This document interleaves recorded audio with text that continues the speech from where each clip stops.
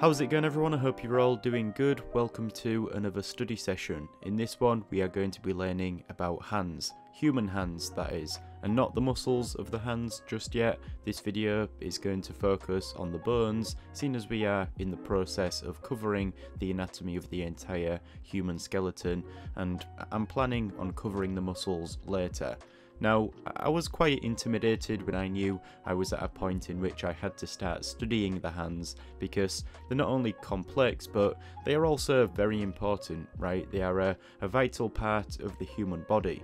They are more so like tools that we rely on for most things, and so, like with many of the other bones that we've covered throughout this series so far, we should probably start by discussing the hand's function, right? Because one thing that I've come to understand now is that the structure and form of all of these parts of the human skeleton is a result of their function, right? What do we need them to do? And I can trust that most of you watching already know what the hands do, seeing as you should have some of your own, right? To, to put it simply, they grab and hold things. Now, here in the sketchbook, I'm drawing out the bones of the hand, as well as placing this within the context of the outer surface of the hand. And one of the first things you might notice is the amount of bones and joints that exist in the hand. Now, fortunately, each of these bones are grouped together and the skeleton of the hand can be divided into three sections. I'll take some coloured pencils here and highlight these. At the start of the hand we have the carpal bones. These meet the radius and as you can see, there's a few of them. Of course we'll look at this more in depth in a moment. Up from that we have the metacarpal bones and these are the largest bones in the hand sitting in the middle connecting the carpal bones to our last group of bones at the end known as the phalanges which you might have guessed these are the fingers.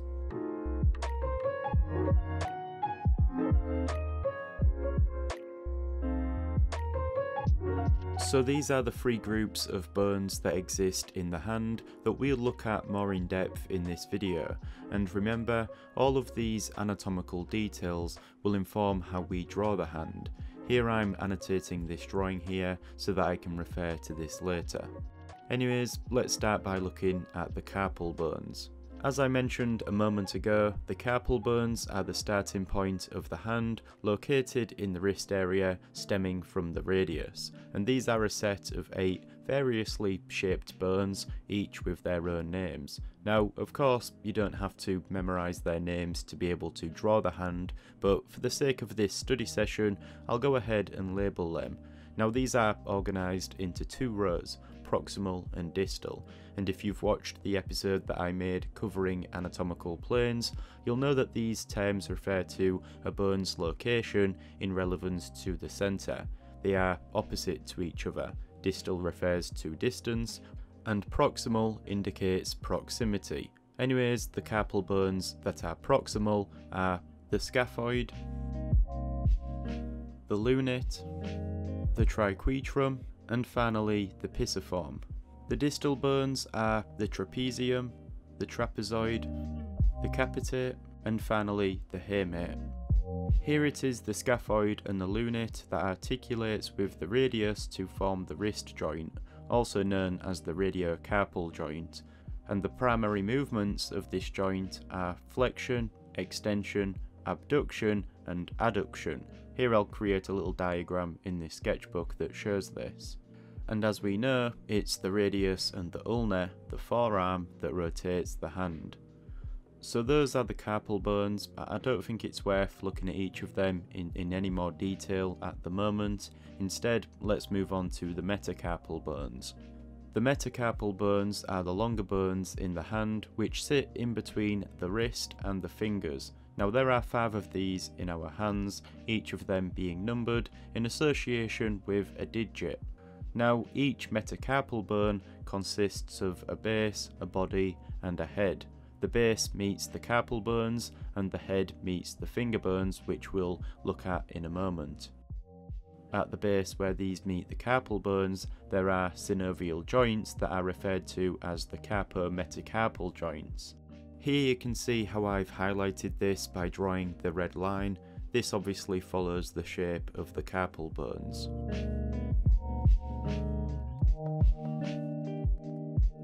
Now, when the hand is relaxed, these metacarpals form an arc-like shape, obviously influencing the position of the fingers as well.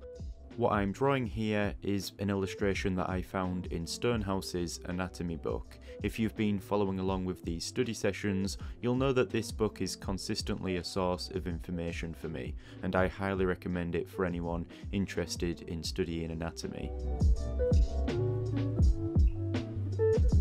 So the bones of the fingers are referred to as the phalanges, and you may already know we have five of these, with each of them being named in order from 1 to 5, beginning with the thumb. Instead of referring to them as a number though, there's also some common names for these fingers that you might already be familiar with. These are the thumb, the index finger, the middle finger, the ring finger, and finally the little finger. Now, with the exception of the thumb, each of these fingers, these phalanges, are divided into three bones, each of these referred to as a phalanx, these being the distal phalanx at the tip of the finger, the middle phalanx, and finally the proximal phalanx, the bone at the base of the finger that meets the metacarpals. And so again, here I've colour coded each of these. Now as for the thumb, you'll notice that it's a, a, little bit different, there is no medial phalanx, and we'll talk about the thumb in a moment. At the proximal end of each phalanx there is the base and at the distal end is the head, and where each of these phalanxes meet, there are these interphalangeal joints, which are hinge joints, which allow the bones to only bend inwards. Again, if you've watched the episode that I made specifically on the subject of joints, you'll know how hinge joints work. But it's not hard to guess, I mean, it's like a, hinge works, hence the name. Another thing to note that might be obvious is that each of these fingers vary in size, with the middle finger being the longest and the little finger being the smallest, but even though each of these vary in size, the ratio in size for each of the phalanxes is roughly the same, and so I'm making a note of that here. Now with the fingers being at different sizes, it also means the position of the interphalangeal joints vary as well, except when our hand is a clenched fist, in which case these joints are aligned. So the reason these finger bones are divided into three bones like this, or why the hand in general is divided into so many bones, is because this is what allows us to clench our fist. We are able to grab and hold and put our hands in suitable positions. However, this wouldn't be possible if it also wasn't for the thumb. Here I'll also draw some close-ups of the thumb on the next page in the sketchbook and as we noticed earlier, unlike the other fingers, the thumb is only made up of two bones, the distal phalanx and the proximal phalanx, meaning there's less joints and it's also shorter, but that's what makes it strong.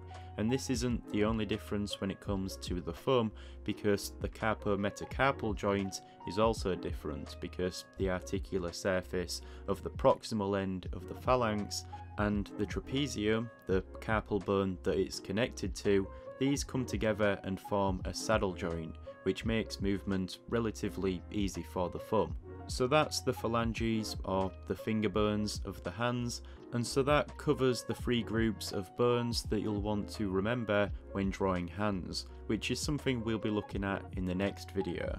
We will be applying what we've learned in this one to draw the bones of the hand in various positions, so I hope you look forward to that. With that being said, thanks for watching, I'll see you in the next one.